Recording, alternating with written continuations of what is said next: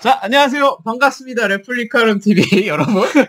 오랜만에 TV 나오니까 너무- 낯서시죠? 낯설어요. 진짜 낯설어. 왜 이렇게 낯설지? 아, 그러니까 우리가 음. 사실 코로나 때문에 네. 코로나 아니, 코로나 그 때문에 여러 가지로 좀 제한된 생활을 하고 있다가 그리고 축구에 대한 당신은 자가 격리를 했지만 나는 그냥 정상적인 생활을 정상적인 생활 했어. 어, 난 하셨어요? 정상적인 아, 나? 마스크도 안 쓰고 다녀서 그 자랑이 아니에요. 민폐더라고. 사람들이 나는 몰랐는데 자꾸 나를 왜 네. 쳐다보는 줄 난 잘생겨서 쳐다보나 그랬는데 에이, 아니 백화점 같은 데 가면 네. 자꾸 여자 쳐다보는 거야. 그래서 저왜 쳐다보지 그랬는데 네. 쳐다는 보는데 엘리, 에스컬레이터 올라가는데 내 뒤에서 안 올라와. 근데 내가 오늘 매장에 들어가면 네. 종업원들이 안 나와. 마주. 왜, 왜 나가야죠? 아니, 그러니까 보통 손님들이 가면 나와서 마주 아, 마스크를 안 쓰고 어서 오세요라고 이야기를. 이거 안 해. 여러분들 보셨죠? 이렇게 하면 안 된다는. 뭔데, 네, 본데 뭔데. 보고서 이해를 보여드렸고. 일단 뭐 여러 가지로 지금 코로나 때문에 어려운 그 상황이나 좀 제한적 생활하실 분들에게 좀 심신의 위로 말씀드리면서 네. 저희도 사실 컨텐츠가 여러분들 아시겠죠? 축구라는 경기가 없어졌어요 일단. 그리고 뭐 매장이 문 닫고 신제품이 제대로 나오기도 어려운 그러니까 세계적인 환경이 뭐 다른 영상에서도 말씀드렸지만 축구를 이렇게 오래 안 하고 안 본 적이 처음인 것 같아요. 그래서 네. 축구를 안 본 거는 군대 가 있을 때 못 봤으니까. 예. 그 자이는 타이드 그러셨고 어, 그 이후에 처음이에요. 네. 그러니까 되게 이상한. 그래서 제가 요즘 그걸 본 거예요. 뭘 봐요? 왓챠 플레이로 들어가서 왓챠? 왕, 왓챠에서 왕좌의 게임 시즌 1부터 8까지 중에서 Game of Thrones 그거 아 왕좌 어 그거 재밌지 않아요? 이 뒤로 갈수록 재미가 없어지긴 할 거야, 약간. 마지막에 그거 한데 아. 그 근데 리얼리티가 있을 거 정치 싸움이나 아니, 이런 거. 리얼리티 이런 거보다 거기 야한 장면들이 너무 많이 나와서 왜? 여자들을 다 벗고 나 그런 거 좋아하시잖아요. 아닌가?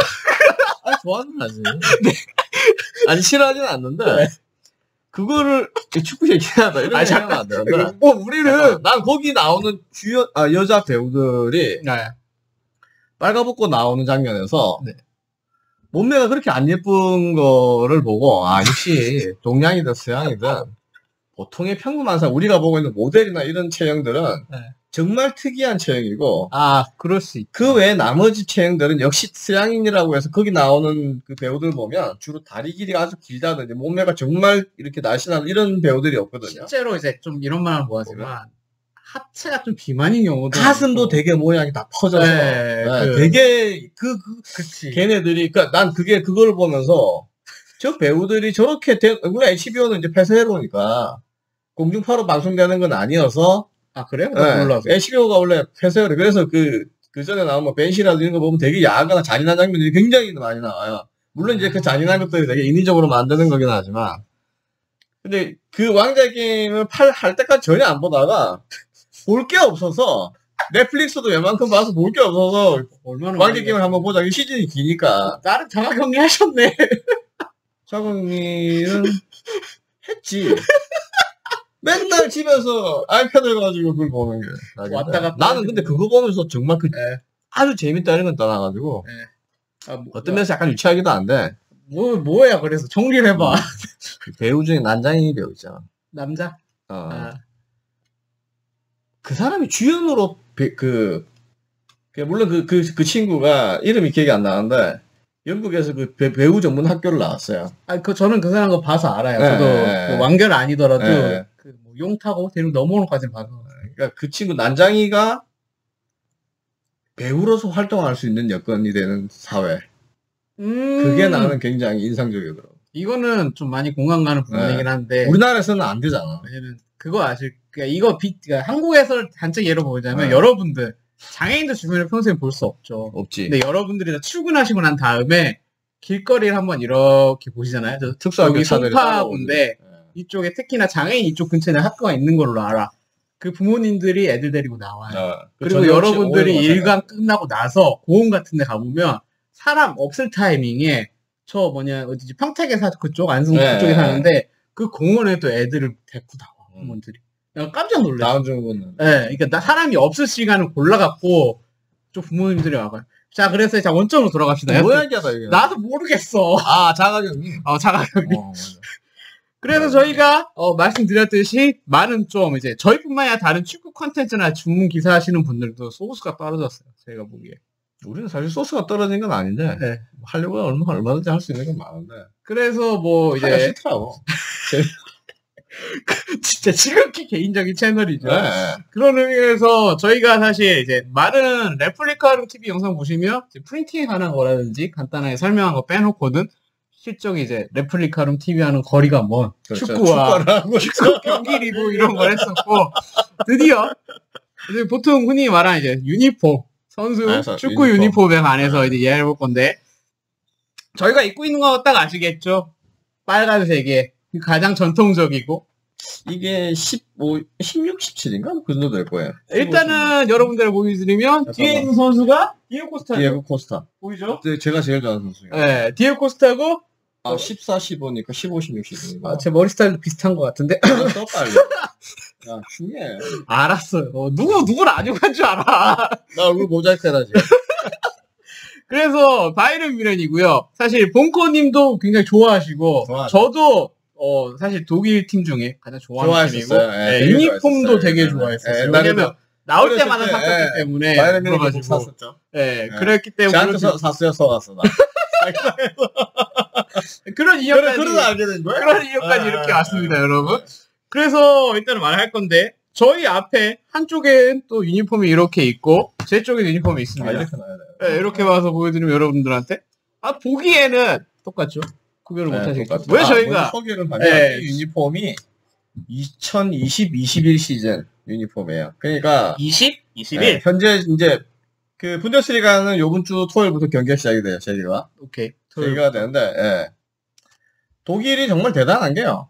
그 코로나 감염자가 17만 명이에요. 엄청 많네. 네, 17만 명이고 사망자 수도 7,800명에 이르요. 그런데 우리는 260명 죽었잖아. 아이, 만 명에, 만 천 명 가면.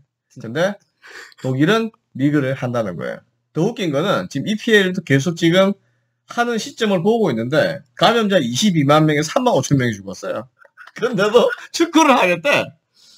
대단해요. 네. 아 이게 그 뭐 다양하게 해석할 수 있겠지만 제가 그래서 EPL은 반드시 해요. 그건 멈추질 않아. 그 영국 사람들 이상한 전통 같은 것들이 있어서. 저도 여기에 약간 공감했던 네. 부분이 그러니까 그때 그게 말씀하셨잖아요. 네. 사망자가 나와도 아마 할 거다. 그 사람들의 인식 속에서는. 그 다음에 조금 더 지나고 나면 우리가 우리 우리나라도 지금 사회도 마찬가지인데 지금 이태원 발 뭐 제 2차 그 코로나 폭풍이 몰아치고 있긴 한데 기본적으로 코로나 방역이라든지 치료에 들어가는 사회적 비용과 그 다음에 축구 산업이든 어떤 여러 가지 산업이 중단됨으로써 발생할 수 있는 사회적 비용.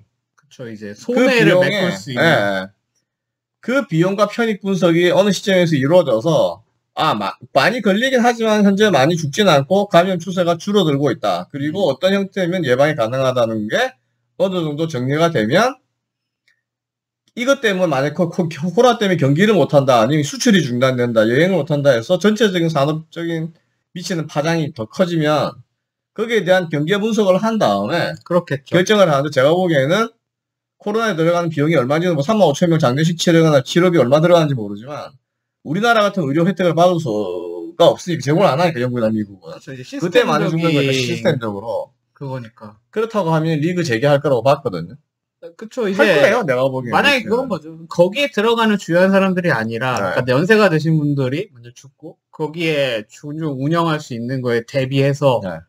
운영을 중단하는 비용이 아니 영국 같은 데는 내가 오늘도 그런 이야기 잠깐 했는데 다른 친구들한테 영국에 가면 영국 뭐 런던도 마찬가지고 지방도 마찬가지일 텐데요. 우리는 집 앞 밖에 100m만 딱 나가면 내과, 외과, 정형외과, 안과, 치과 모든 게 다 있잖아.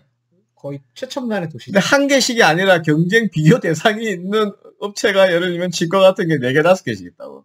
승부보이면 몇 개씩 아니, 몇 개? 동해 주변 주 동네 동네, 동네 동네, 근처 동네 100, 그냥. 걸어서 100m 반경 내에서 영국은 우선 그 조그만 마을이나 이런 데 지방으로 가면 병원 간판이 없어요 호스피탈이라는 게 그냥 닥터 누구로 되어 있는 집이 있어. 그러니까 아프면 그 집에 찾아가야 되는 거 근데 가서 저 몸살이나 감기가 들어서 열이 나고.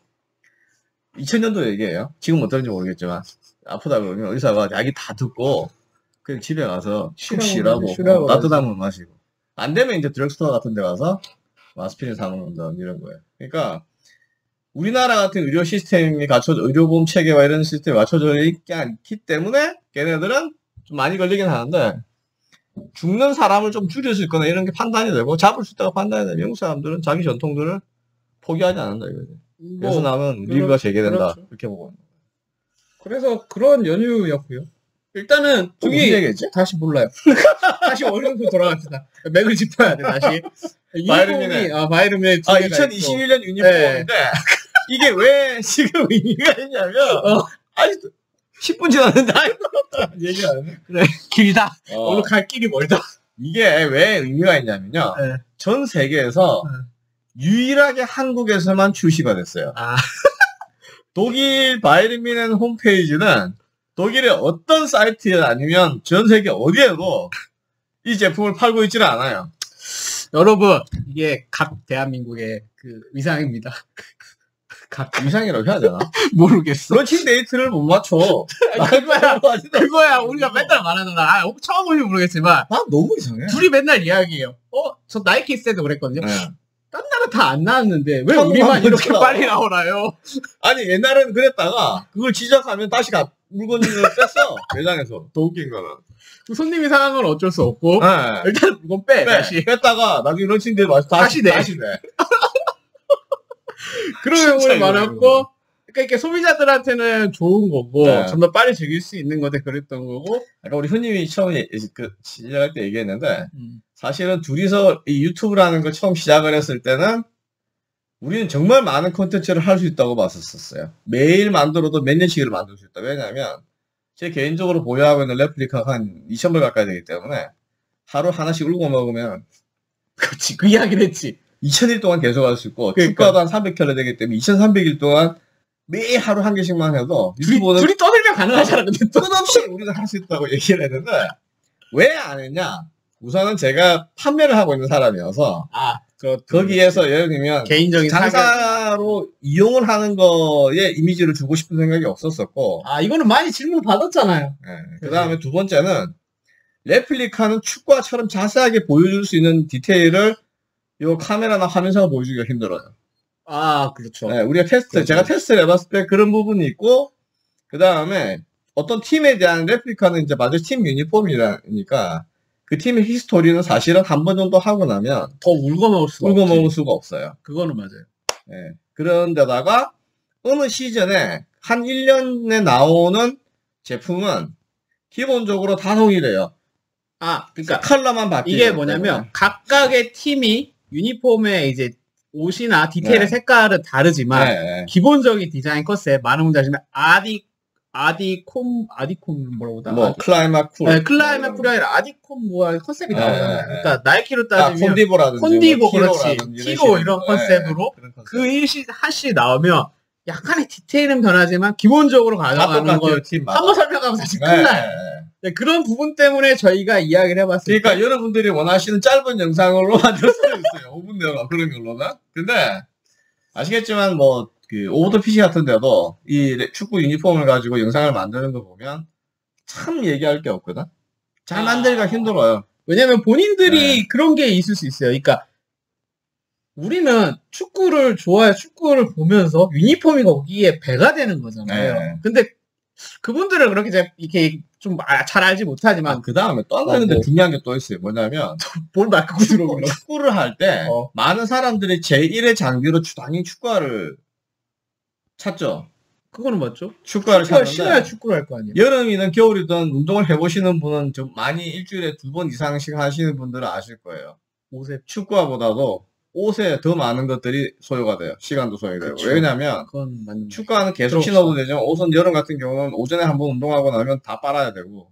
그래서 일주일에 만약 네 번, 다섯 번 한다 그러면 옷 가짓수가 많아져야 되는데 섬유라는 거는 반복 세탁하게 되게 되면 손상이 갑니다. 손상이 가기도 하고 어느 시점이 돼서 화학적 성, 성분이 일단 분해가 부식이 시작이 그 되면 뭐냐 냄새가 노후가 되잖아요. 빨리 돼요. 네, 오히려. 그러니까 운동을 자주 하시는 분이면 동일한 옷을 계속 입는다는 가정 하에 축구와 똑같이 일한다고 하면 막 옷이 오히려 삭는다고 표현해요. 상어요. 삭으면서 네. 그 특유의 냄새가 땀하고 연결, 그 섞이게 되면 이제 옷이 기능을 맡, 네. 못해요. 네, 화양화 냄새가. 냄새가 짬이 조금만 나면 네. 옷이 그거를 해- 이렇게 탈취를 못하고 여러분 잘 아실 거예요. 이게 이상한 냄새가 계속 배가지고 안 빠지는 거. 실제로 우리나라처럼 지금 이제 우리나라는 간절기라고 할 수 있는 봄과 그 다음에 가을에 에, 그 그것들이 계절이 모호해지면서 습기가 이제 예, 대신 여름과 겨울은 확실한데 그 두 시즌 여름과 겨울 두 시즌용으로 실제로는 우리나라는 사계절이 있기 때문에 실제 필요한 옷도 되게 많아요.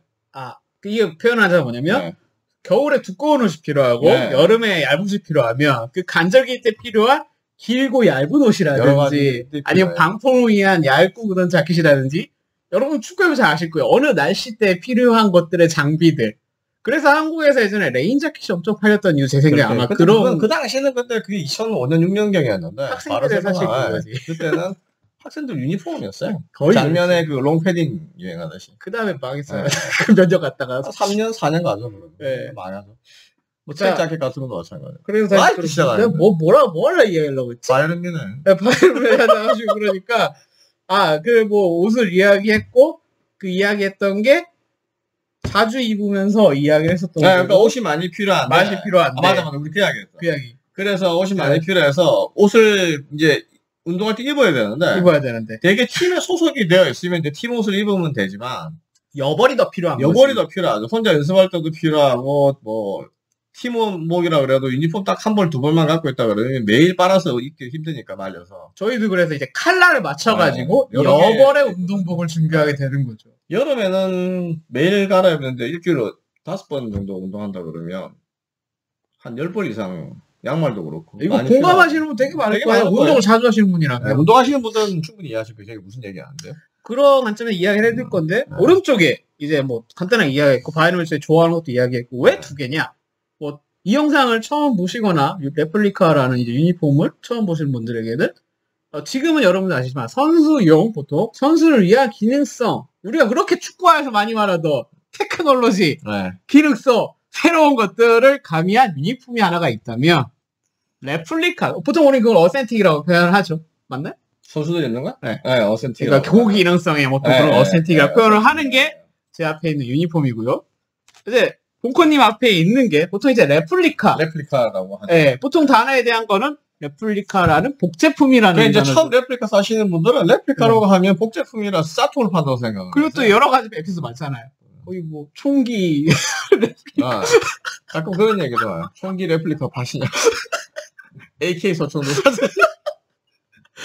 그런 그런 건 아니고. 그런 것들에 대한 의미가 있고 이제 그걸 하는 게 아니, 근데 외국에서는, 우리나라에서 지금 레플리카가 뭐 축구 유니폼에도 많이 사용되지만 다른 그런 피규어라든지 이런 뭐에서도 맞아요. 쓰는 것 같더라고요. 그래서. 그러니까 일단만 오토바이에 대한 레플리카도 있고 아, 레플리카. 네. 네. 레플리카도 있고. 왜냐면 두카티 네. 선수요 잘 모르지만 네, 가끔 네, 얘기를 들었을 때 네. 그런 거에 downgrade 버전이라고 네. 하죠. 레플리카라는 오토바이 나오듯이 유니폼도 그렇게 나옵니다. 근데 저는 사실 이게 어느 저는 이거 맨 처음 접했던 게 레플리카하고 authentic 접했던 게 2002년 나이키 대한민국 유니폼 때 처음 봤어요. 음. 그런 개념을. 그 전까지는 그걸 저 몰랐거든요. 같은 경우는 수집을 94년부터 시작을 했는데, 1994년. 94년에 이제 레플리카를 수집을 시작을 해요. 몇 살이었죠, 그때? 아, 굳이 말해야 되나요? 기억이 안 났어. 아, 나이가 나오나? 어리잖아. 뭐. 아, 예, 어리진 않아 이제.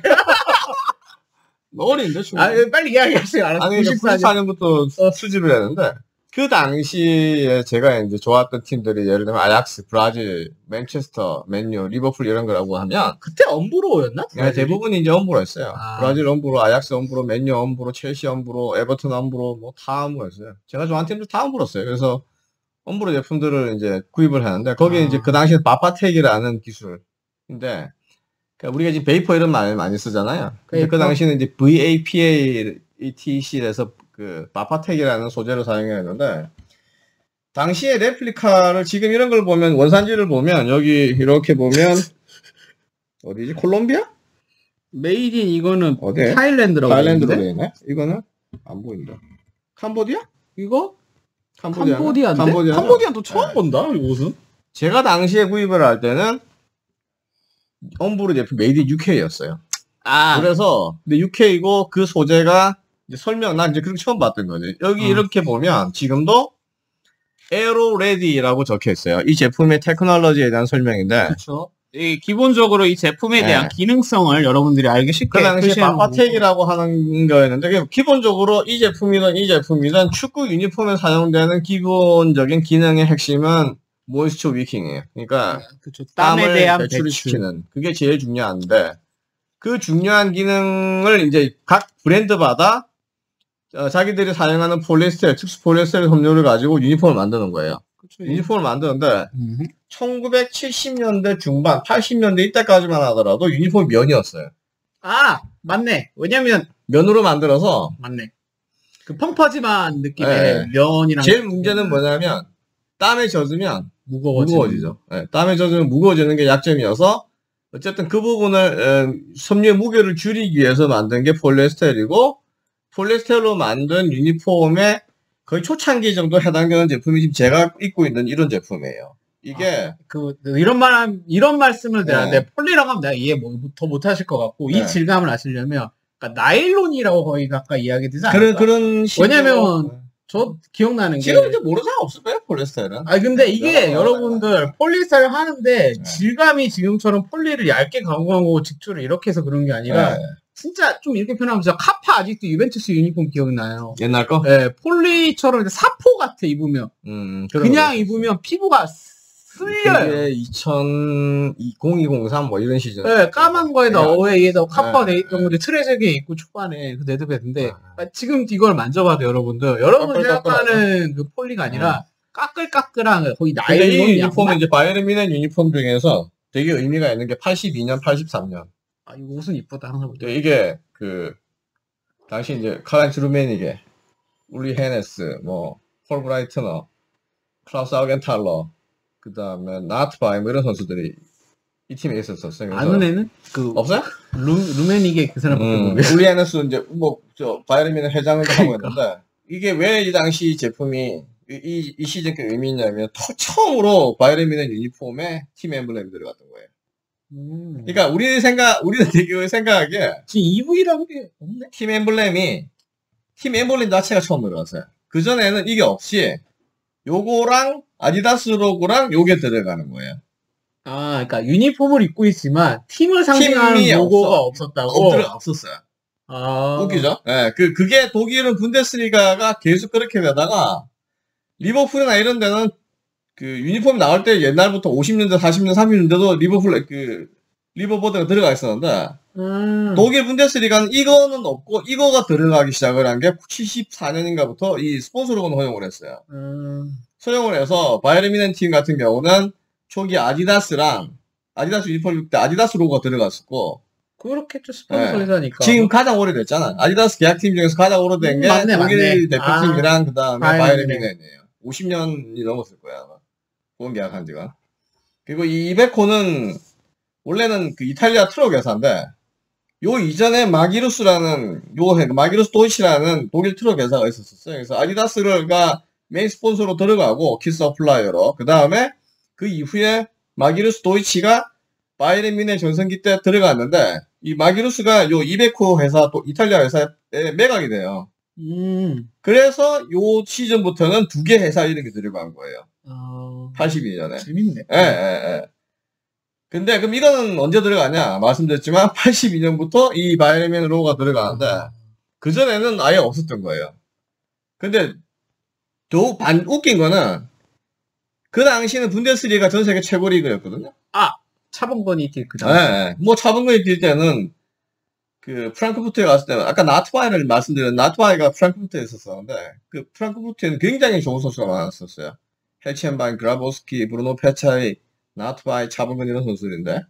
이 선수들이 뛸 때 그 당시에 이미 프- 프랑크푸르트는 여기 이제 팀 로고가 들어가 있었고 그다음 에 여기에 이제 미놀타 일본 카메라 회사가 들어가 있었었는데 그치. 일본이 그 당시 스폰서 엄청 네. 엄청나게 했어요. 했었어요. 해외에다. 뭐, 뭐, 오만, 온갖, 뭐, 그거는 기억이 함부르크, 뭐, 리버풀 전부 히다치, 뭐, 이런 걸로 다 들어갔었어요. 그러니까 소니, 뭐. 어, 이따시라 기억이 안 나. 홍명보가 뛰는 거 같이 알아 있어, 내가. 영국은 이 스폰서 로고 들어가는 게 또 늦었었어요. 음. 리버풀에 히다치가 들어간 게 70, 어, 82년? 아, 79, 80 시즌부터인가? 그때 이제 들어갔고, 어, 이탈리아 리그들도 이탈리아 리그들도 이 스폰서 로고를 처음 사용하기 시작한 게 82년 정도. 자, 그래서 이해 다시 하면 독일이 선진 리그. 선진 리그였어. 그- 그걸 이해하고 싶었던 거죠. 걔들이 이제 기본 축구 문화를 이끌어가고 음. 나머지 팀들이 이 분데스리가 운영 방식에 대한 벤치마킹을 한 거죠. 아, 그, 그렇죠. 예, 옛날에는. 그런 식으로. 왜냐면은,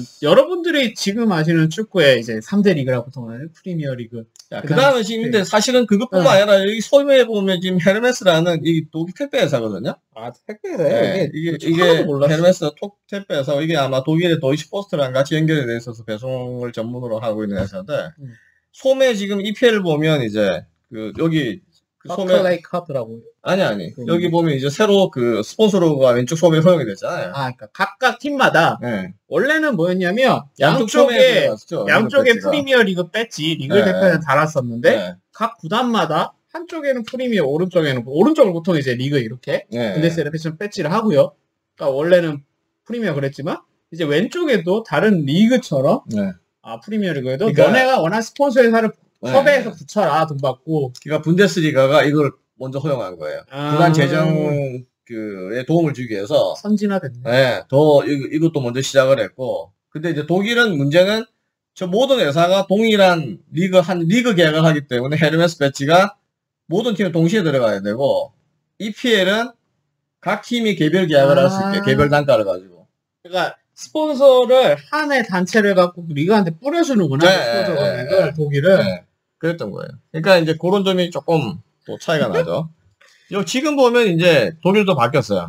그래서 이런 팀들은 이제 뭐 카타르예요. 이것도. 네. 이것도 카타르 지금 네, 같은 시즌 카타르예요, 유니폼이니까. 들어가서 이거는 이제 각 팀마다 서로 다르게 할 수 있게 독일도 지금은 음. EPL처럼 다시 EPL식으로 이제 돌아온 거죠. 자, 그래서 그거 다시 말해봐야 할 것 같아요. 선진 리그 다 이야기했는데 네, 네. 유니폼에 대한 걸 2002년도에 봤고 네. 94년도부터 어, 밭에 엄부로 그런 걸 봐왔는데 네. 실질적으로 이렇게 큰 차이를 느끼는 걸 보셨던 거는 몰랐었어요. 몰랐었다고? 몰랐던 게 왜냐면 엄브로 같은 경우는 아약스든 그 다음에 브라질이든 같았으니까 다 다. 같은 거예요. 선수들 유니폼이랑 레플리카랑 authentic의 차이가 없었었는데 그 차이가 이제 만들어지는 시기가 언제였냐면 어 알파 프로젝트 아니 알파 아니에요? 프로젝트가 아니고 어. 아디다스 equipment equipment 먼저였어요. 아, equipment가 요 옆에 유니폼 옆에 제가 좀 찾아본 것도 있는데 응. 요 옆구리에 equipment 로고가 형광색으로 들어가요. 그래서 선수들 유니폼에 형광색이 들어가고 실제 그 제품들은 메시 여기 요 옷의 옆에도 이렇게 보이실지 화면에 잡힐지 모르겠는데 그냥 갖다 대면 돼요. 이렇게 해서 네, 꽃이 비치는 장면들이 그게 이제 메시 구조잖아요. 네. 그런 것들이 이제 그 이퀴먼트에는 좀 더 강화되어 있었다고. 그래서 아 저렇게 선수들이 입는 거고 우리가 사, 는 거는 이거 없구나. 그때 인식한 거예요. 예, 그 그게 이제 몇 년도에 대략 기억나요? 아, 이퀴먼트가 들어간 게 90년대 중말 같은데 음. 중 말기. 근데 그러면 근데 그럴 수 있어. 아디다스가 이런 고기능성 제품을 언제부터 냈냐? 사실은 이제 이런 유니폼들이 나올 때만 해도 일반 폴리에스테르잖아요. 일반 폴리에스테르이기 때문에 어, 땀 배출이 무게는 가볍지만 땀 배출이 잘 되는 소재는 아니었어요. 전혀 그안 당시에는 다만 면을 교체하는 의미에서 그쵸 이제 폴리에스테르 선택을 한 건데 그거지 면이 무거워지는 무거워서. 면에 대한 네, 거를 왜냐면 폴리는 가볍고 물에 대한 흡수성은 없었거든요. 네, 당시에는. 없어요. 근데 물을 하더라도 유니폼 자체 옷은 가벼우니까 네. 흡입을 안 하니까. 그래서 이걸 사용을 했다가 아디다스가 나이키는 뭐 그냥 축구 제대로 할 때는 아니었으니까 아직도 기억나. 네. 그 아스날 드림캐스트 유니폼을 네. 옛날에 구해가지고 베르카프를 샀는데 그것도 똑같아요. 제가 갖고 있는 샀고. 1990년하고 어 90년 독일 유니폼 이런 거를 보면 그냥 그 폴리스테르예요. 이런 네. 차- 차이가 없는. 근데 문제는 뭐냐? 어 82년까지도 84년까지도 아디다스가 특별한 뭔가를 하진 않았다가 음. 86년 멕시코 월드컵에 딱 올라갔는데 클리마 거다. 예. 유니폼을 그 당시는 아마 칼라 텔레비였을 거예요. 우리는 흑백으로 봤지만 나는 흑백으로 주로 보는데 텔레비가 여전히 칼라 방송은 시작했지만 돈이 없으면 예전 그대로 칼라 흑백 TV를 봐야 되니까. 왜 공감을 못하실 수도 있어요, 여러분. 예. 저도 잘 몰라가지고. 아, 지금은 칼라가 정상인 줄 알지만 그렇죠. 흑백이 역사상에서. 흑백 시대가 굉장히 오래됐어요. 그래서 흑백 트루 텔레비를 주로 봤는데 이제 안 보이죠 이런 게 잘. 그쪽 그치. 지금은 텔레비가 대형화됐지만 옛날에는 17인치 뭐 15인치 이런 거거든. 그러니까 TV가 있는 게 어디야? 아, 그 작은 텔레비로 온 가족이 오는 거예요. 심지어는 우리 집에 텔레비가 일찍 있었기 때문에 동네 사람들이 네, 저녁 먹고 나면 동네 사람분들 아주머니들 한 10분씩 와서 우리 집 보고 가요. 그 좁은 그 방에 다 들어와서 그 드라마 할 때마다 뉴스는 안 봐. 애들도 똑같은데. 아, 옛날 뉴스는 안 보는데 인기 드라마만 보고 가시는 거야. 네, 근데 그래. 그, 안 보이잖아. 그 내가 어떻게 알았냐? 어떻게 알았어? 일본 축구 잡지를 사거든. 일본 축구 부산에 잡지를 사거든. 살으셨어가지고 네. 넘어오는 그런 시- 선취문문들이 많았었대요. 일본 축구 잡지를 사면 사진을 근데 사진은 이제 화보 집이니까 되게 칼로로 나와서. 칼라로 나오는 부분들이 있으니까 그런 걸 딱 보면 디테일 부분이 보이는데 어 뭐가 있는 거야? 그치. 다름을 느끼는 거지. Climalite가 손에 딱 들어가 있는 걸 본 거예요. 아, 저 손에 지금도 그 86년 독일 대표팀 홈 유니폼을 되게 좋아해요. 카라에 이렇게 살짝 그 독일 국기색이 들어가 있는데 그때 처음으로 Climalite라는 게 만들어지고 축구 유니폼에 적용이 돼서 그 Climalite가 요 제품을 보면 이제는 Aeroready라고 되어 있는데요.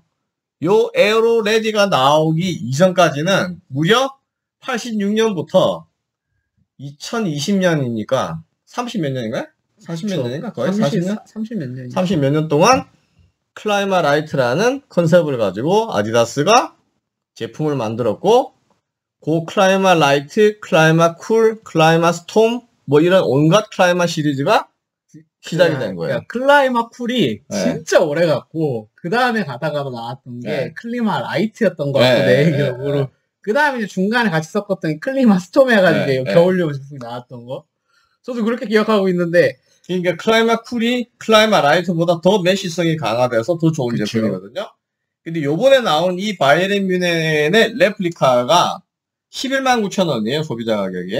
어, 가격이 센 편이네. 네. 아디다스. 센가요? 세지 않아요? 아니, 뭐 그렇게 같지는 않은데. 안 해? 네. 어, 그러고. 여기에 이 제품은 Aeroready라고 되어 있고, 여기에 authentic authentic입니다. 여기에는 히트 RDY. 히트 레디라고 읽어야겠죠? 네. Heat Ready. Ready가 읽어야 되나? 야, 뭐. RDY를? 알죠? ready로 읽었잖아. 아, 아, 이거 ready라고 적혀 돼 있네. 있어. 어, 이게 웃기지.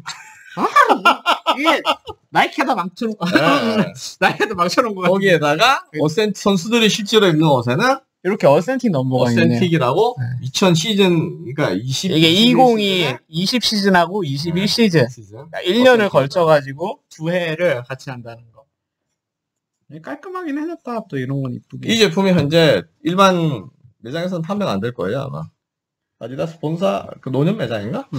거기서만 아마 아, 근데 이거 판매가 되고 있을 거예요. 어센틱이 좀 이런 거 좀 그렇다. 근데 그러면 어센틱하고 그 다음에 이제 레플리카를 네. 왜 차이를 뒀냐? 어, 예, 당연히 이제 선수들이 입는 고기능성 제품들이 필요하겠죠. 필요하죠. 필요하죠. 근데 아디다스 우리나라 지금 나이키도 마찬가지인데요. 국가대표팀에 원티어, 투티 뭐 이런 얘기 자꾸만 나오는데 어, 선수들이 입는 옷은 기능적으로 아무래도 이제 그 브랜드의 최고의 기술력이 다 동원이 돼야 되니까 당연히 기능적으로 좋은 옷을 만들어야 되는데 그렇게 만들면 가격이 높아지죠. 네, 필연입니다. 예, 가격이 높아지는데 단순히 가격이 높은 게 아니라 이 비즈니스 논리에서는 브랜드가 우리는 예를 들면 맨유와 아디다스가 공급 계약을 맺으면 아디다스가 맨유에 50% 할인을 해서 대량으로 후원을 해주니까 싸게 줄 것이다 이렇게 생각을 하잖아요. 아니 그게 아니라 계약 그 계약을 내가 너희들한테 1년에 500억씩 물품을 제공을 해줄게 하면 그 500억이 천억짜리 물품을 싸게 50% 할인해서 500억 주는 게 아니라 소비자 가로 가야 돼. 소비자 가격 그대로 제공을 네. 해요. 아, 여러분들이 아셔야 되는 거는 그 사람들이 혜택을 보는 게 아니라 네, 네, 네. 계약을 맺어서 네. 그 사람이 소비자 가격을 맺은 키 서플라이가 그대로 제공하는 금액을 차감을 하는 겁니다. 네. 자기들이 받는 이제 후원 금액에서. 근데 그렇게 해서 이 제품의 가격을 500억이라고 하고 그럼 500억이 가격인데 실제 제조 원가는 얼마냐?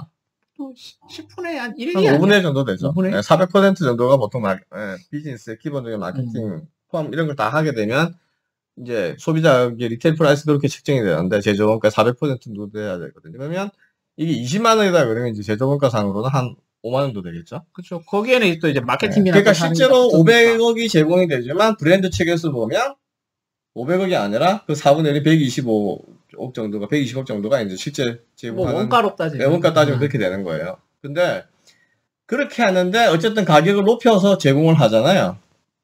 그러면 이 제품 공- 팀에 공급한 가격과 동일한 가격으로 팔아야 돼요.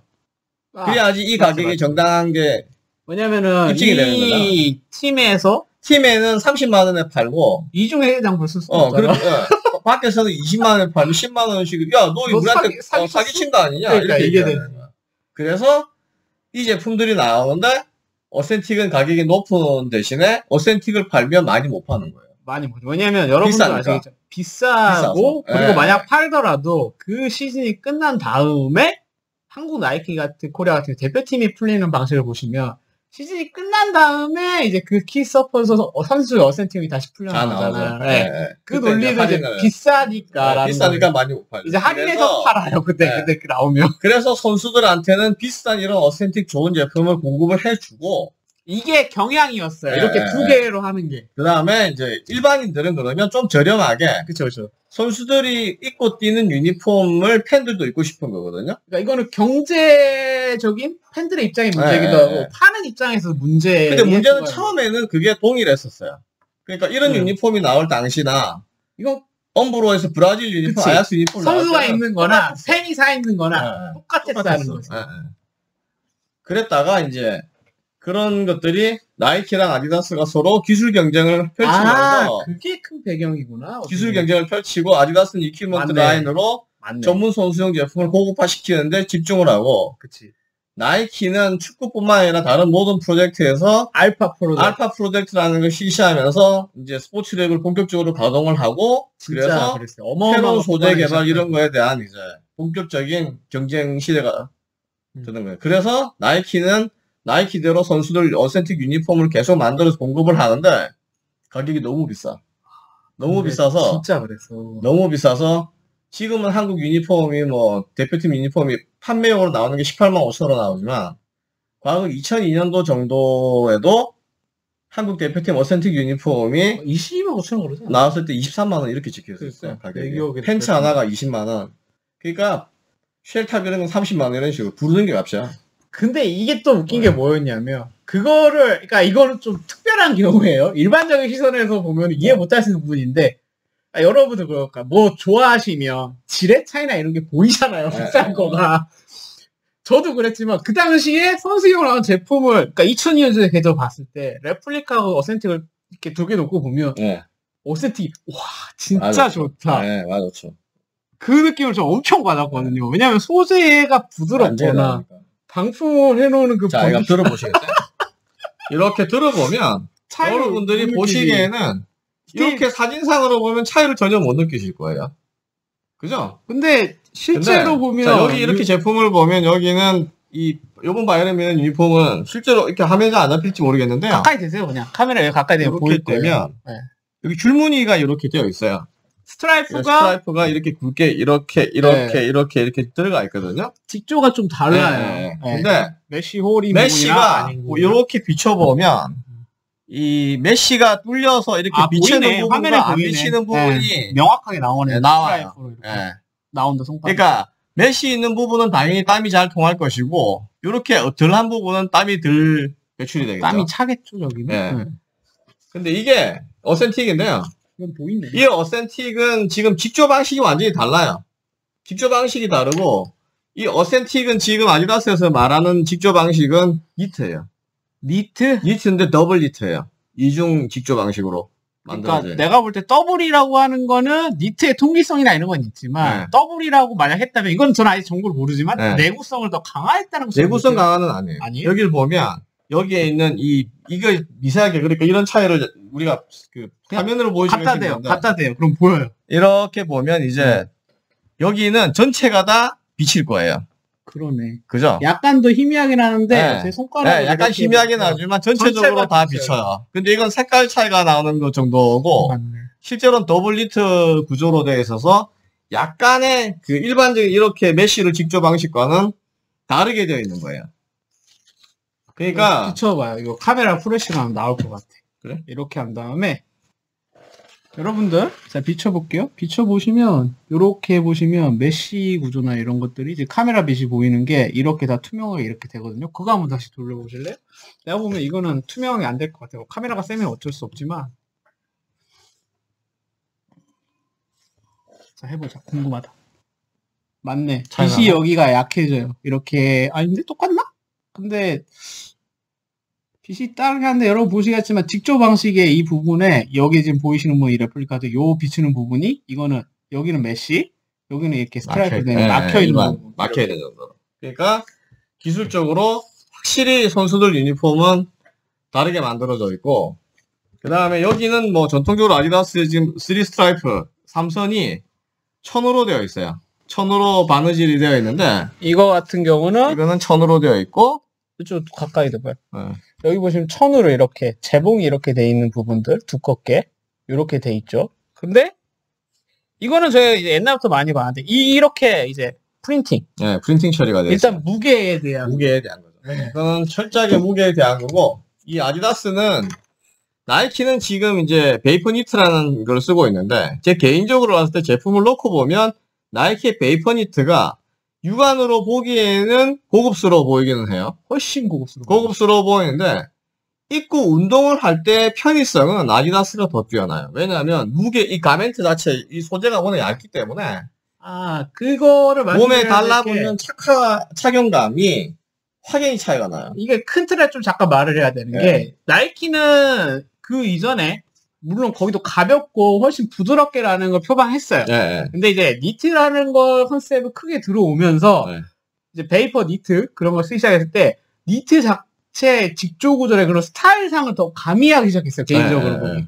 그래 니트가 초반에 얇아가지고 그렇게 기능성이 좋았던 시기가 있거든요.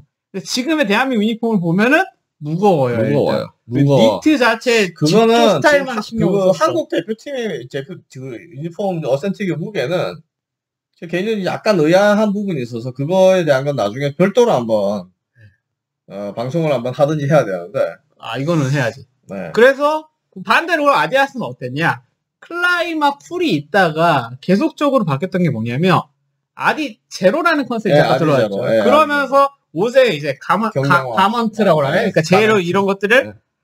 얇게 얇게 그리고 굉장히 가볍게 가볍게랑 엄청 많아요. 그래서 희한하게 예, 이게 웃겨요, 예, 웃겨요. 나이키를 보면 굉장히 옷은 고급스러워 보이는데 진짜 이거 입고 운동을 할 때는 아디다스가 너무 가볍고 몸에 이렇게 달라붙는 게 실루엣을 주는 감이 그때 우리가 이야기했잖아. 좋은 예전에 거예요. 아디다스 이거 2, 3년 전인가? 예. 2년 전인가? 근데 그게 예를 들면 그런 것들이 이 꼭 어센틱이어야만 하느냐 그렇지도 않아요. 왜냐면 아, 아, 맞다 맞다. 그 여러분들이 보면 EPL을 보면 울브샘턴 뭐 이런 데 아디다스 입죠. 그러니까 아 울브스 내년에 뭐 다른 거로 바뀌죠.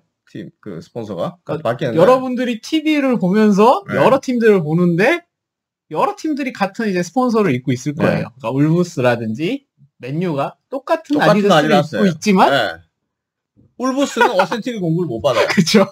이게 로컬 계약이라고 계약이에요. 해서 아, 국내에서 우리나라 아디- 푸마를 삼성이 입고 있잖아요. 옛날 입고 네, 입고 K리그 있지만 말하면. 되겠다.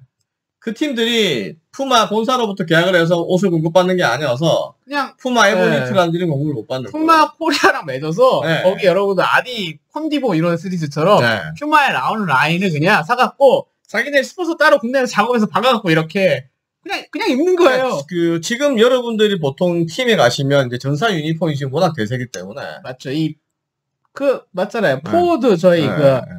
아시는 분, 그 네. 동생분의 이름 생각이 안 나네. 유툰 뭐 헤트티 네, 그런 뭐 거, 이런 네. 회사들 그런 회사들 다 있는데 네. 그런 회사들이 단체복을 우리나라 습권을 하고 있거든요. 근데. 지금은 약간 주춤을 했는데 왜 그렇게 됐냐면 전사 유니폼이라는 게 나오면서 옷 전체다가 그 다양한 프린트를 할 수 있게 원하는 여러 가지 무늬들을 인쇄를 전사 인- 방식으로 인쇄를 해서 옷이 화려해지졌죠. 그래서 화려해지는으로써 이제 그 유니폼을 찾는 단체들이 워낙 많아지니까 지금 시장이 완전히 전사로 넘어가 있거든요. 근데 전사는 문제는 뭐냐면 소재가 좋지가 않아요. 나요. 소재가. 그 뿌리는 건가요, 이렇게? 그러니까 잉크로 이렇게 아, 인쇄를 아. 하고 컴퓨, 그 컴퓨터가 예를 들면 컬러 프린트 찍어내듯이 이렇게 찍어내는데 나이키는 그거구나. 네. 2층에. 근데 그게 그 여러 가지 화려하게 만들 수는 있지만 소재가 좋지를 않아요. 그 전사에 사용되는 손이 제한이 되기 때문에. 맞네. 그걸 흡수해야 되니까. 네. 그. 그래서 이제 그거가 조금 문제가 있는데 그 전에 뭐가 인기 쓰냐 아시겠지만 우리나라에는 Tiro랑 Condivo가 어마어마하게 단체복으로 왜냐하면 경험 아, 유시자. 아디다스에서 나오는 단체복으로 저렴하니까 그리고 소비자 가격이 뭐 3만 몇천, 4만 몇천 이렇게 되어 있는 것들이 보통 단체를 하게 되면 30% 할인을 해주니까. 그것도 있고 말하자면. 근데 조- 조- 그 제품이 왜 중요한가? 어. 그게 울브스 애들이 입는 거거든. 음. 그리고 돌아- 심지어 트레이닝 맞아. 트레이닝 제품은 유니폼도 그렇지만 트레이닝 유- 옷은 레알 마드리드 실제 선수들이 입는 거거든. 아, 맞다. 맞네. 그래서 이 나이키와 아디다스 축구 용품의 의류회사에서 매출 차이를 발생시킨 게 뭐였냐면 단체복. 아니 그럼. 나이키는 authentic 레벨에 해당되는 선수들이 사용하는 one tier에 해당되는 Vapor 제품들이 모든 제품들에서 다 Vapor가 적용이 돼서 쇼트, 반바지, 트레이닝 저지, 트레이닝 top 모든 게 다 적용이 되는데 음. 아디다스는 트레이닝 wear에서는 선수용과 그 다음에 일반으로 나 일반인들이 입을 수 있는 레플리카가 동일한 거고 아. 나이키는 이해했다, 이해했어. Vapor 같은 제품들하고 그 밑에 있는 다운된 제품, downgrade 되어 있는 takedown 버전이 따로 존재를 는 거예요. 이게. 왜 이렇게 나이키가 그게 반 멍청한 짓을 한 건데 이게 지금까지. 문제가 되게 많았어요. 지금 한국 대표팀이 사람들이 one tier 돼서 유니폼 어센틱에 나와도 좋아하는데 그게 좋은 게 아닌 게 한국 대표팀이 입고 있는 트레이닝 wear가 레플리카 버전이에요, 전부. 그쵸. takedown 버전이에요. 그러니까 실질적으로 one tier가 된 게 아니야. 그게 무슨 예. 차이냐면 표면상에. 2018년부터 20년까지 사용된 제 한국 대표팀의 유니폼은 Vapor Knit가 아닌데 나이키에서 그 지금 한국 대표팀 18년에서 20년 사이에 제공이 됐던 그 소재와 그 기술 컨셉의 제품은 없어졌어. 없어졌기 때문에 지금은 원티어로 승격시켜준 게 아니라 그 제품 라인은 이번 시즌부터 아예 없어지고 그냥 선수들이 입는 거는 어센틱으로 만들어준 것 뿐이에요. 그쵸. 왜냐면 그 부분이 네. 그냥 제가 봤을 때는 이게 마케팅의 일환이라고 해야 될까? 요번에는 뭐 나이키가 한국 대표팀을 상대로 한 마케팅 일환이기는 하죠. 근데 더 중요한 거는 뭐냐면 PSG라든지 그 다음에 바르셀로나라든지 토트넘이라든지 그러니까 나이키의 지금 핵심 팀들, 팀들. 예, 그. 팀들의 1군 선수들은 모든 게 Vapor Knit에 해당되는 최상급을 지급을 받는데 그 팀에 소속되어 있는 2군 이하 선수는 그것을 못 입어요. 그냥 레플리카 버전을 입는데 그 단체복을 주는 거죠. 네. 그 제품들을 따로 나눠서 나이키도 팔기 시작한 이유가 뭐냐면 아디다스와에서의 경쟁에서 트레이닝웨어 경- 판매량에서 확 차이 나는 부분. 이게 불과 그때는 1년인가 안 됐을 한 거예요. 2년 정도 됐어요. 네, 1년, 이제는. 2년밖에 안 예, 됐었는데 왜냐면 나이키에서 일할 때도 뭐였냐면 들어오는 제품군이나 만약 이게 티어가 그만두기 3년 넘었어. 3년 넘었는데도 이야기를 하잖아. 좀 들어봐. 사람 이야기하면 너 모르잖아, 이제. 알아요. 그러니까 tier가 one으로 해서 나오거나 레플리카가 따로 나오잖아요. 그러면은 두개 일단 제품에 들어오는 수량의 차이나 들어왔을 때 판매되는 금액의 차이가 있다 보니까 그거를 그 매장 운영하는 회사 입장에서는 수익을 충분히 낼 수가 없어요. 예, 예. 이게 첫 번째예요. 그래서 나이키 계속 보였던 게 뭐였냐면 실제로 저희 느꼈잖아요. PSG나 구단샵에 들어가면 점점 어센틱이 없어지고 선수들이 레플리카 버전의 트레이닝 계속 입고 운동을 해. 그러니까, 그러니까 나이키 측에서도 그거를 없앤 거예요. 지금 예를. 들어서 AS 로마, 그 다음에 아틀레티코. 토트넘도 그런 아니, 토트넘은 지금 최상급에 아, 지금 맞네, 맞네. 영국 내 시장이 크기 때문에. 아틀레티코와 아틀레티코니 뭐, 뭐, 그, 우리 칼라사타이도 로마, 이런 팀들은. 유니폼은 예를 들어 Vapor가 나오는데 트레이닝 우리나라 대표팀처럼 아, 트레이닝 wear는 전부 다 레플리카. 레이크 플리카 버전으로 나와요. 그러니까 그러니까 한국은 one tier로 대우고 승급하는 게 아니에요. 여러분 착각하고. 그 이제 표면상에 이제 그 마케팅으로서 유니폼을 만들어주는 아니 편의상도 아니고 그러게. 그거는 나이키 계약팀은 그 전해는 이제 그렇게 차별을 뒀는데 음. 나이키가 그게 별 의미가 없어져서 그걸 따로 또 만들어야 되잖아. 그러니까 일을 두 번 해야 되는 거잖아. 그러니까 레플리카를 만들고 그다음 그거보다 낮은 단급의 약간 저, 저 Vapor Knit가 아닌 등급을 하나 또 만들고 어. 그다음 또 이제 Vapor Knit authentic 유니폼 또 만들어야 되니까 귀찮아지는 거예요. 일이 많아지고. 그럴 필요가 없거든. 어, 어차피 트레이닝면은 다 그냥 그 되는데. 어. 그래서. 이 제가 볼 때는 큰 틀에서 그런 거죠. 굳이 뭐 그걸 만들 필요가 없다. 네.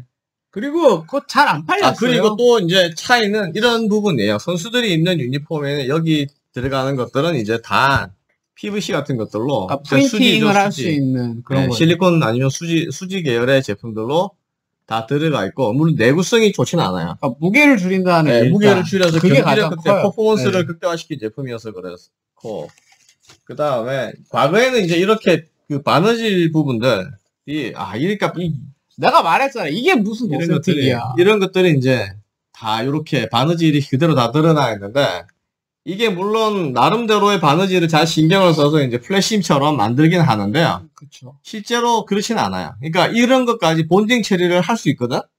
할 수 있죠. 할 수는 있는데 안 하는 이유는? 이게 인건비지. 그렇지. 가격이지. 네, 그리고 여러분 이게 말하는 게 뭐냐면 저희가 그러니까 퍼포먼스라고 생각하는 부분에서 제가 아까 뭐 아니라고 했지만 보통 그러니까 저희가 봤을 때 옛날에 어센틱이라면 네. 진짜 기능성 퍼포먼스라면 이거를 플래심으로 해서 이게 플래심이긴 해요. 근데 이렇게가 아니라 아예 붙여가지고 심리스로 아예 심리스처 심리스를 하거나 해버렸어요. 이렇게 붙여서 이게 서- 표면에 살이 쓸리지 않게 정도는 해줘야지라는 게 제 에센틱에 대한 기본적인 그거고 네. 아니면은 이걸 없애고 이제 본딩 방식 접착으로 해서 요거를 천을 겹친 다음에 거기에 이렇게 접착을 해서 아예 무게도 이, 이거의 심에 대한 날려서 무게도 줄이고 사용감을 했을 때 쓸리는 부분도 없게 그러니까 이렇게 돼야 되는데 이런 걸 보면은 못해. 네, 못하거나 왜냐하면 그렇게 하면 돈이 비용이 많이 들어가는. 것 때문에 그럴 수 있지만.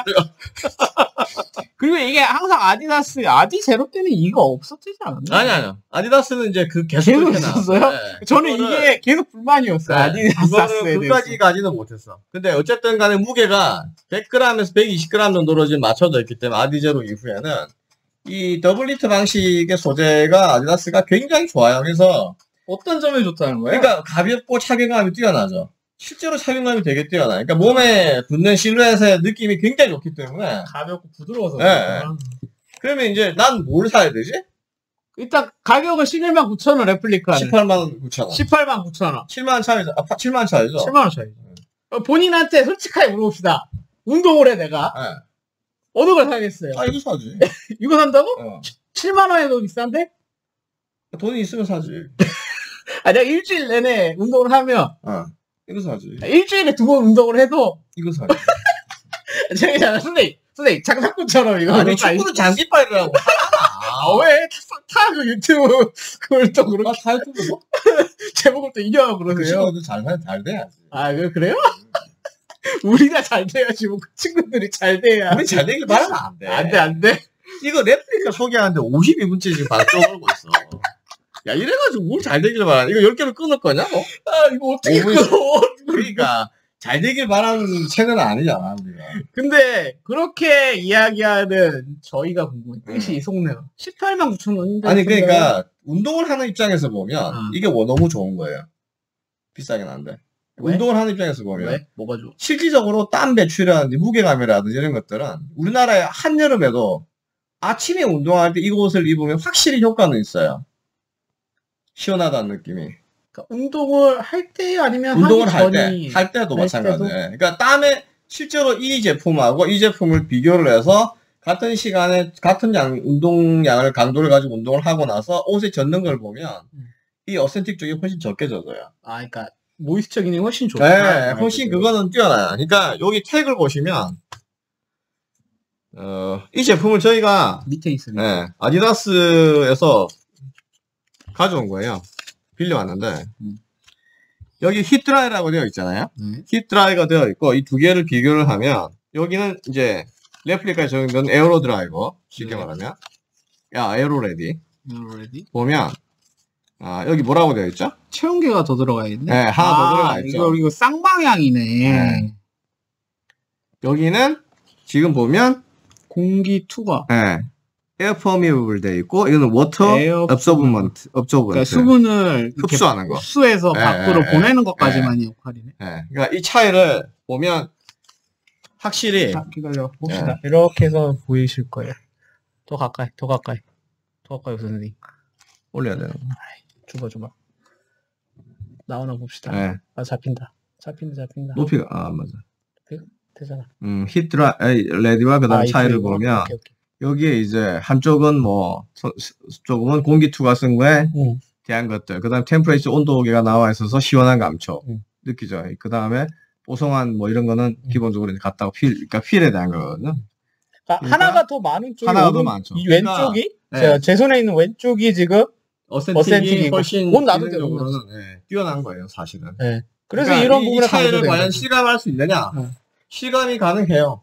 실제로. 근데 음. 나는 좀 의문을 제기하고 싶은 게 네. 우리가 논제로 삼는 게 하나 있잖아. 네. 요 어센티가 이런 걸 하더라도 네. 우리가 여름에 운동하는 조건을 했을 때, 네. 약간 운동을 기본적으로 했을 때, 아무리 이런 모이스처기는 공기투항이 뛰어나더라도 우리나라의 습한 건조에서 땀을 많이 흘리면 이 기능성 어. 어느 정도 무용지물이다. 그렇죠. 우리가 기본적으로. 약간의 그건 가지고 있잖아요. 네. 그게 이제 예를 들면 한국의 기온이 지금 점점 이제 아열대 기후 쪽으로 가깝게 한여름 기온은 그렇게 되니까.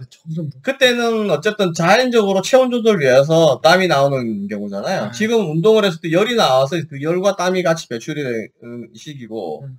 우리나라 한여름에는 당연히 낮이라는 이럴 때는 기온이 30도가 넘어가면 체온 조절을 위해서 스스로 몸에서 땀을 내니까 그때는 한계가 있기는 해요. 음. 한계가 있는, 있는데 어쨌거나 두 제품을 비교를 운동을 끝내고 비교를 하면 어, 땀이 나와 있는 정도는 그때는 차이를 잘 못 느끼는데 문제는 제품이 위킹을 해서 땀을 이렇게 짜보면 이쪽이 적게 나와요. 아. 아시겠죠? 그래서 운동을 여름에 한여름에 하고 우승을 벗고 옷을 짜면 실제로 땀이 쭉 하고 짜, 짜지잖아요. 네. 그죠?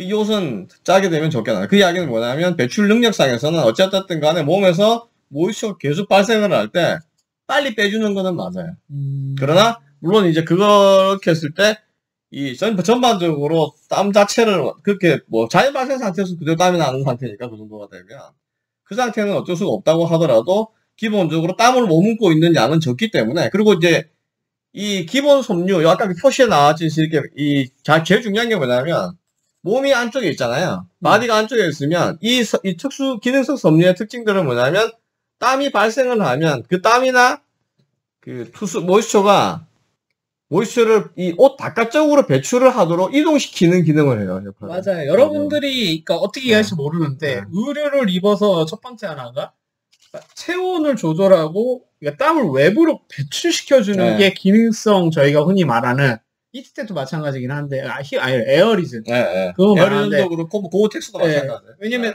땀이 일어나서 여러분들이 잘 아시는 땀은 몸의 체온을 가져가요.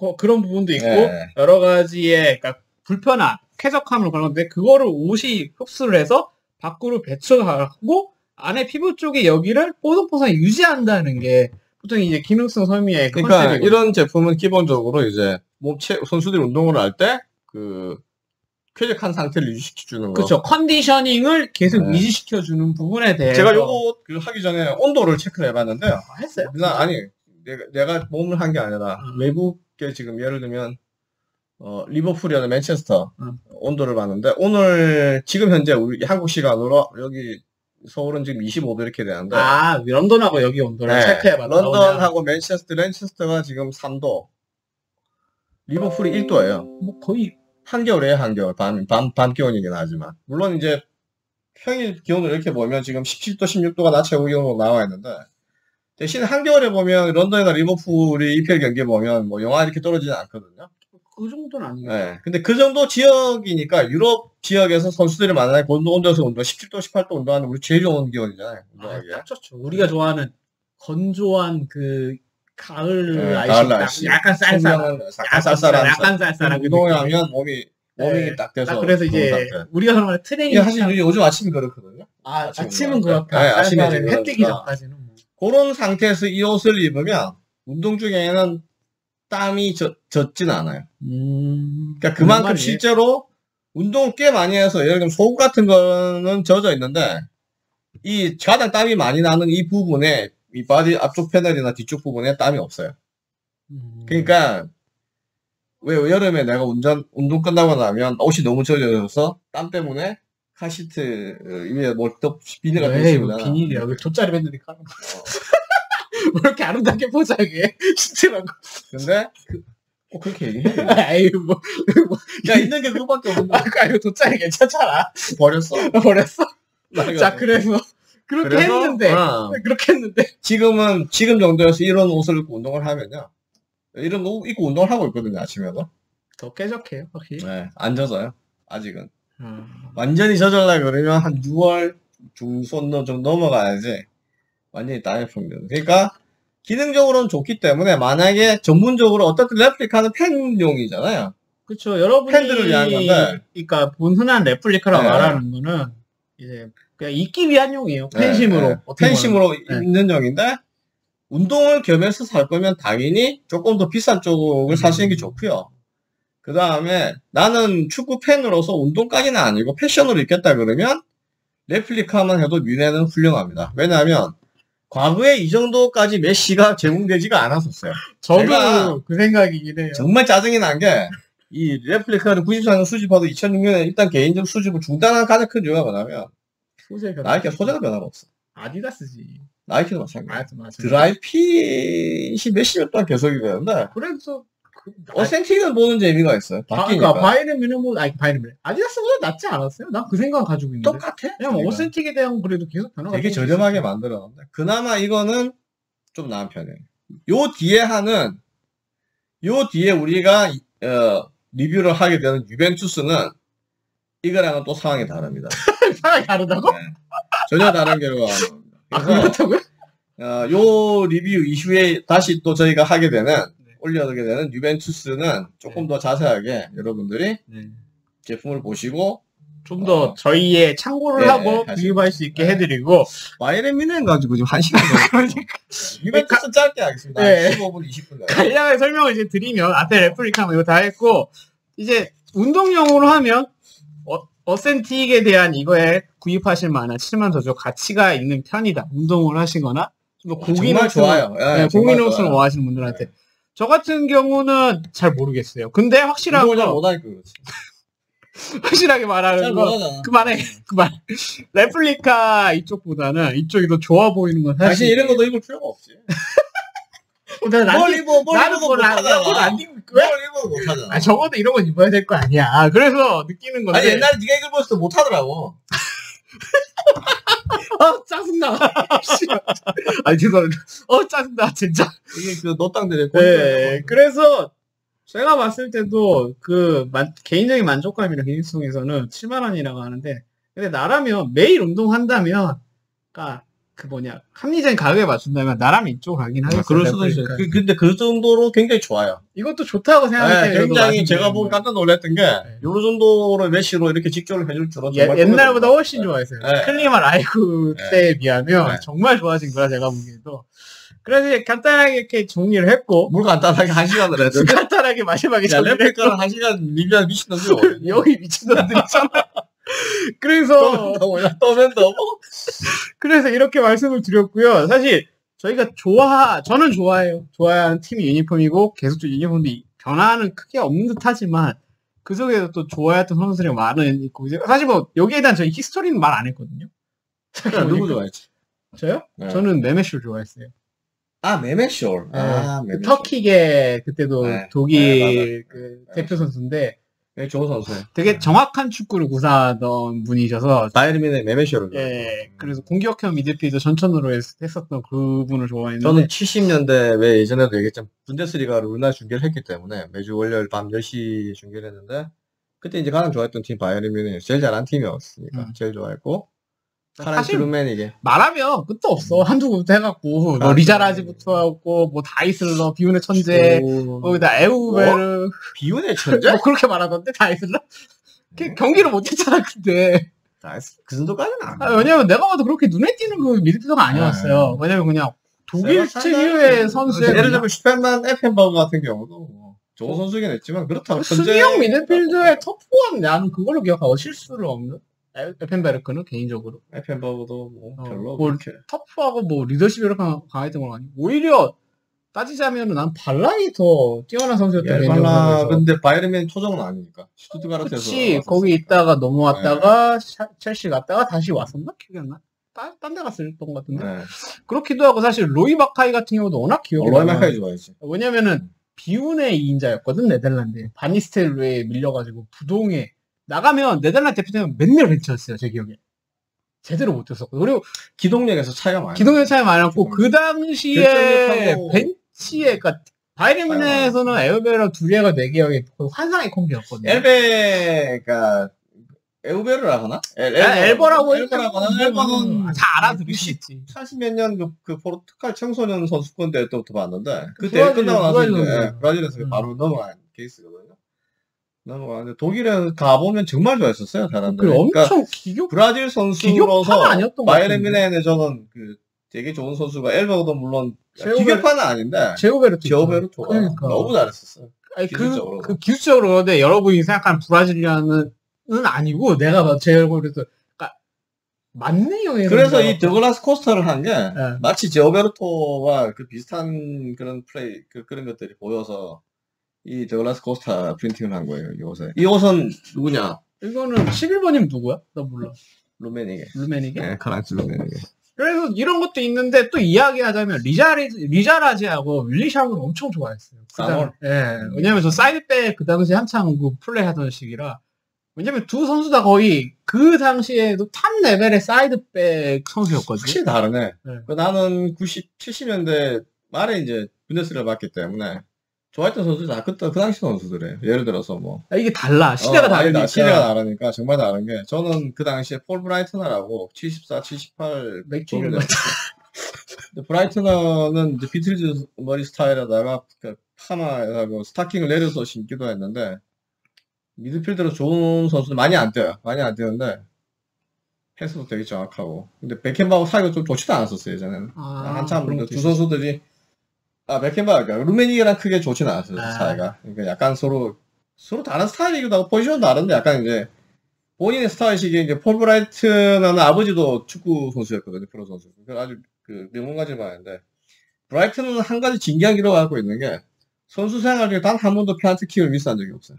에이, 그, 그, 네, 그 별로 기록- 안 갖고 그러면. 아니 많이 차다 치고 그러니까 페널티 킥 나오면 다 차는데 브라이트너가 단 한 번도 실패한 적이 없는 선수. 신기하다. 예, 그래서 뭐 그런 것도 있고 스타일도 좋고 키도 크지는 않는데 그 시절의 선수들이 이제 저한테는 굉장히, 강하게 각인이 돼 있어서 그 독일 서- 독일 축구 그 다음에 바이에른 뮌헨이 갖고 있는 어떤 이제 그 바바리안이잖아. 아, 내가 늘 말하지만 바이에른 바바리안들이라서 거기 이런 이야기가 있긴 해요. 그러니까 거기는 주잖아요. 주가 연방- 연방을 아, 연방- 연방을 매가 매긴 게 이제 이제 뭐야 분데스리가잖아. 네, 분데스리가가 연방이 네, 그래가지고 해가지고 각각의 나라거든요. 어떻게 보면 제가 정확하게 모르지만 그걸 들었어가지고. 근데 뮌헨의 지금 그 아레나는 나중에 지- 지을 때 잠깐 가봤었고 알렌시 아르나 예. 뮌헨 올림픽 경기장은 실제로 가봤었거든. 1860 미래에 쓰는 거인가? 아까 아니, 뮌헨 같이 쓰는 같이 거지. 쓰는 같이 쓰는데 그 경기장 정말 멋있어요. 그러니까 공원이 있고 공원 밑을 딱 마치 지하를 판 것처럼 이렇게 쑥 들어가 있는데 이 경기장은 실제로 작아서 선대가 8만석 이상이 들어가는 대형 대형 경기장이어서 경기장이 되게 멋있고 그길 건너편에 BMW 본사가 있어요. 그래서 우리나라 88 올림픽 때 지금 아- 올림픽 공원이 만들어졌는데 그 올림픽 공원에 그 모델이 된 게 벤치마킹 아, 대상이 진짜? 됐던 게그 그리고 미행 감독에서 되게 깨끗하고 좋아요. 나는 이거 좀 말하면 이거는 어떻게 될지 모르겠는데 아마 제가 어디서 기사를 봤는데 그러니까 항상 여기 비아름이 왜 좋았냐면 네. 상의하고 하의가 색깔이 똑같아요. 상하. 음. 빨간색, 옛날에 빨간색. 그랬어요. 내 기억에 그게 있어. 그래 그 세트를 맞추면 아 빨간색도 되게 좋아하거든요. 이거 공감할지 모르겠는데 그 세트로 맞춰 입고 나오면 그게 그렇게 예뻐 선수들. 그런데 아시는지 모르겠는데 제 기억으로는 바이에른 뮌헨이 분데스리가가 1950년인가부터 시작이 됐거든요. 50년, 50년인가 시작이 되는데 그 1부 리그에 계속 머문 팀이 아니에요. 응? 제가 알기로는 유일하게 1부 리그에 한 번도 안 빠지고 올라와 있는 팀이 아마 함부르크인가 그럴 거예요. 함부르크 내려갔대? 언제? 예전에 예전에 아 예전에 초 초창기 시작을 하고 나서부터 한 번도 안 나고 이부리가 아닌가? 계속 아 일부지 지금 일부인가? 어, 음. 계속 리그 1군에 잠유하고 있는 유일한 팀이 아마 그러니까 1군 경기가 제일 많은 팀이 아마 제 기억으로는 함부르크인가 그럴 거예요. 근데 이제 뮌헨은 남부 팀이고 함부르크는 북부 팀이? 북부 북 아, 몰라가지고 난. 그래서 게 이게 유니폼을 보면서 어떤 느낌이 있냐면 항상 좋아했던 거는 이거예요. FC 바이에른뮌이라고 이렇게 뒤에 들어가 있는 네. 이게 이 로고가 들어가 있고 지금도 그렇게 되는지 야, 나도 모르겠는데 있어요, 그렇게. 이 밑에 넘버하고 이것도 선수 어디- 이름이 어, 이렇게 돼 있는 이게 볼 때마다 유니폼에 제가 보면 이것도 너무 특징이었어요. 좋았어. 지금도 너무 좋았어. 부- 분데스리가는 이뻤, 이뻤다고 생각을 어, 했거든. 팀 이름이 유니폼 뒤에 들어가 있어야 돼요. 네. 그러니까 아, 도르트문트든 맞네. 함부르크도 예, 다 들어가네.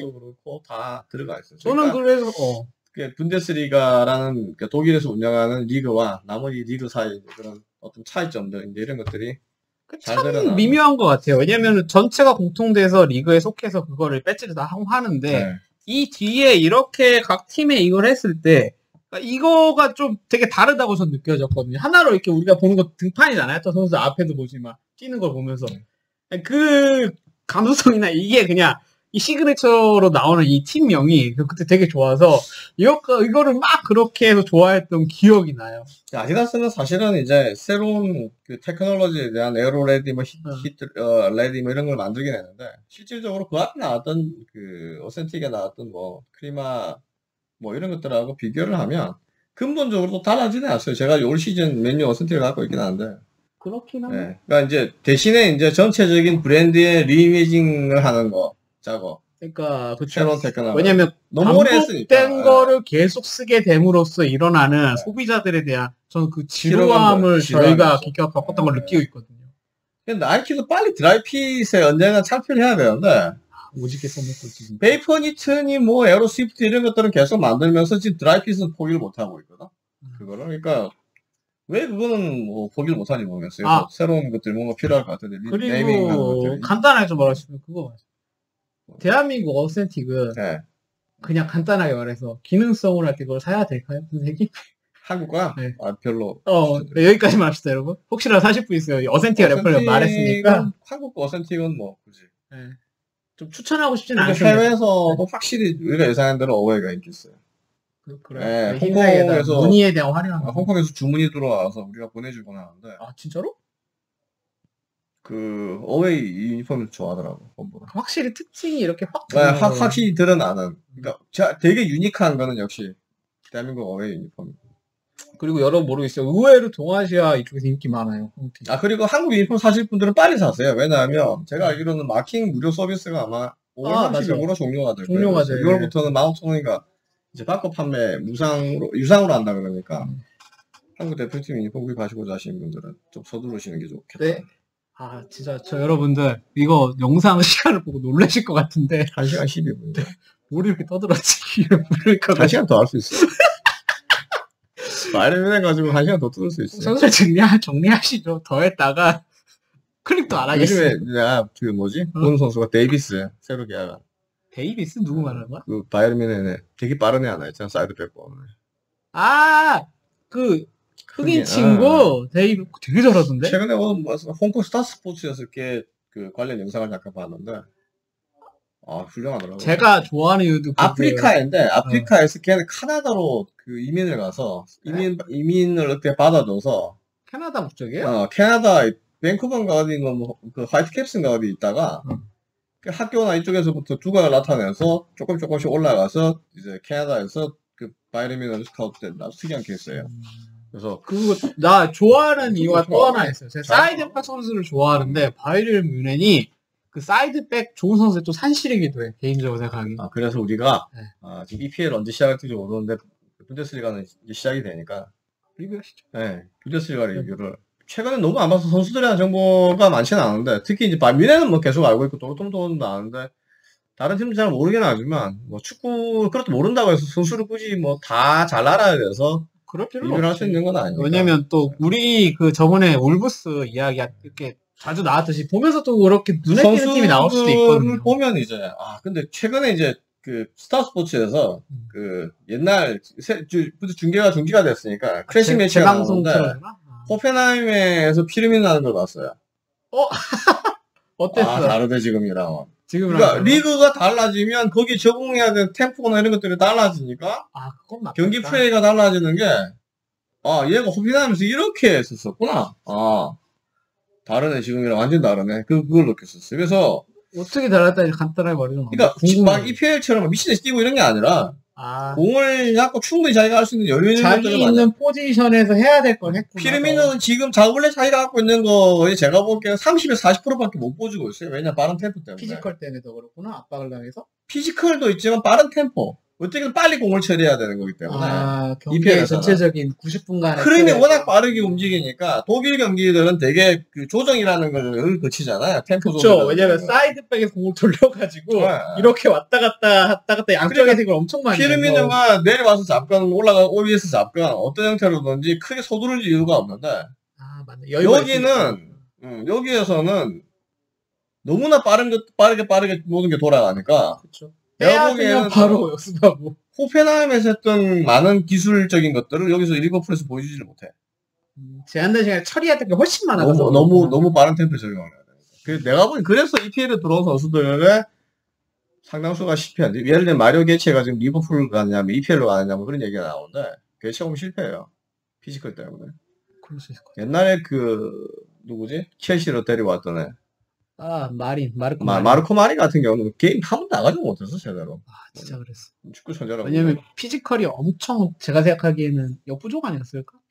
심지어는 미카엘 발락만 하더라도 실제로 독일 대표팀 선수로서 보여줬던 거나 이런 보여줬던 거를 첼시에서는 못 보여줬죠. 저는 그것 때문에 같아요. 확실한 네. 경기 템포 페이스 아, 그게 너무 그거에. 대한 거에 자기가 원래 갖고 있던 거를 충분히 하려고 하면 팀 플레이와 맞지가 않아.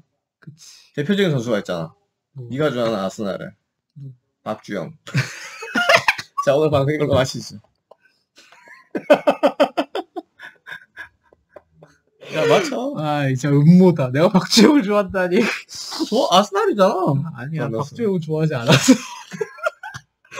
정작 오더라고요. 박주영은 좋아하지 않았어. 박주영 디스하는 거 아닙니까? 이 디스하는 거 아닙니다. FC 서울팬이구나. 저그 오해하지 마시고요. 박주영을 좋아하지 아스날 경기를 많이 못. 나와서.